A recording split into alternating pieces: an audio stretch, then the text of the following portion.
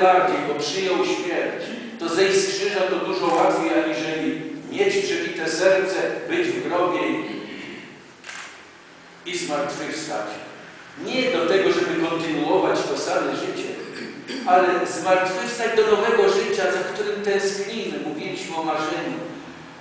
Nasze życie jeszcze przed nami. Pełnia życia przed nami. To nie młodość, to kilka latek, no, ale, ale pełnia życia przed nami. To jest nam obiecane. Dlatego idziemy śladami świętych, żeby nie umarła nas wiara.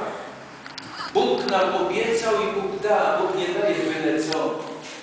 Dar Boży jest większy, aniżeli sobie wyobrażamy.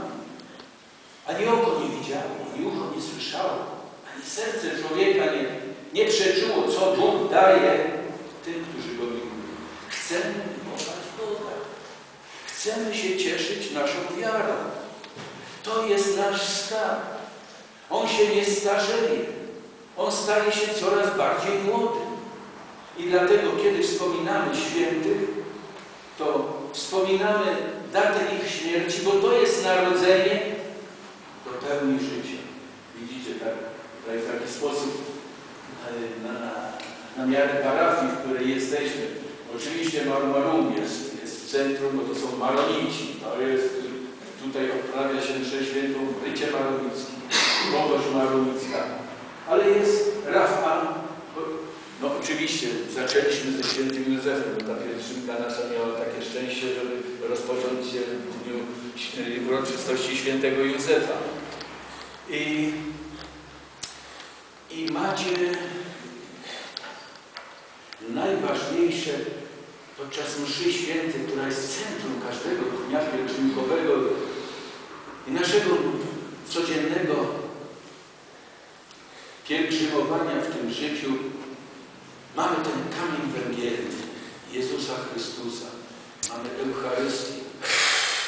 Zadziwiające, że papież Jan Paweł II podczas swoich wizyt zawsze prosił, żeby ludzie obłożnie chorzy, którzy są na żeby oni w pierwszym rzędzie byli. On pierwszy witał właśnie tych ludzi. Tych, którzy na ogół, no, nie, jako niepełnosprawni nie mogą pracować, wymagają opieki i są spychani na margines życia. On wiedział, że, że ten kamień, który jest odrzucony, to jest kamień węgielny. I w naszym życiu również to, co się wydaje, że jest stratą, to jest kamień węgielny. Człowiek wiary, on doświadczając cierpienia, jeżeli nie obarcza się Pana Boga, jeśli się nie burzy, jeśli nie ulega pokusie oskarżania Boga o brak sprawiedliwości, jeżeli ten człowiek ma moc ducha, która pozwoli mu trwać w ufności Bogu, ten człowiek jest mocarzem. Ten człowiek robi bardzo wiele dla własnego zbawienia, dla zbawienia innych. Ten człowiek jest bardzo potrzebny. Ten człowiek daje najcenniejszą rzecz, jaka może być dzisiaj. Ten człowiek jest pośrednikiem miłosierdzia. My w naszych czasach tak bardzo prosimy o miłosierdzie Boże. Jezu, ufam Tobie. Jezu, miłosierny, ufam Tobie. Ten świat potrzebuje miłosierdzia, ponieważ opiera się na przekonaniu, że my potrafimy, my, nasza technologia, nasza nauka, nasze możliwości, my potrafimy, a tymczasem w takim opłakanym stanie jest nasz świat. Klące się wojny. Nawet tam, gdzie nie ma wojen, ale ludzie umierają z głodu, to jak to nazwiecie? Co to jest pokój?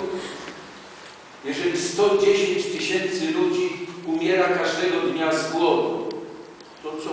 To nasza cywilizacja? O czym możemy powiedzieć? 110 tysięcy, duże miasto, każdego dnia.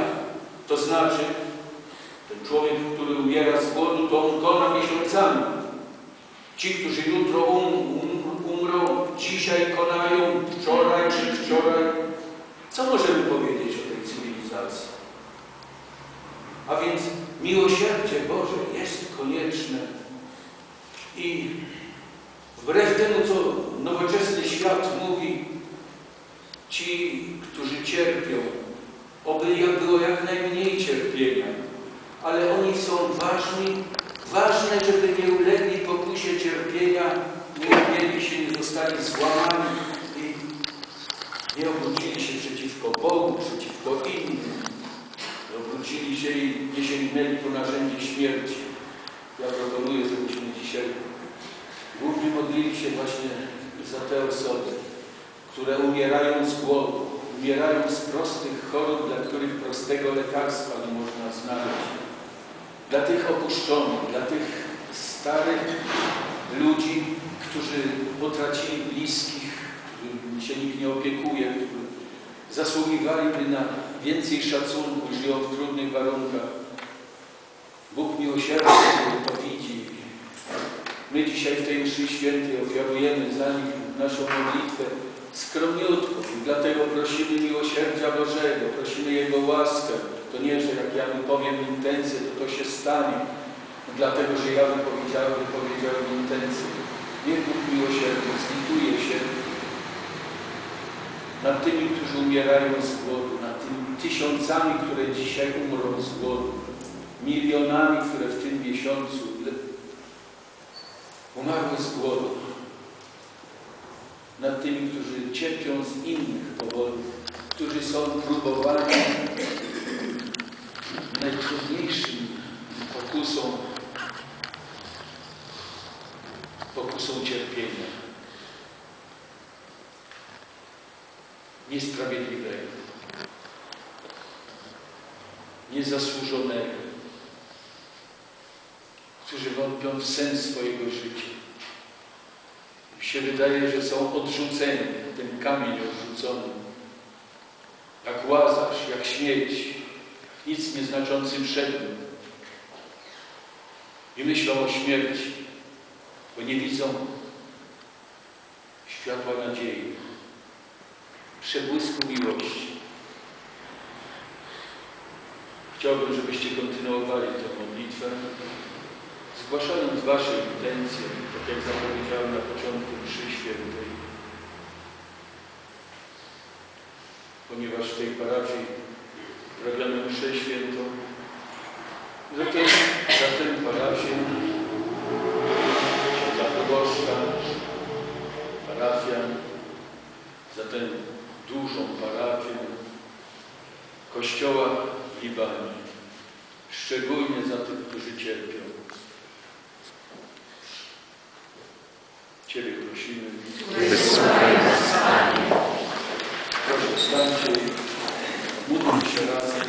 Proszę o intencję.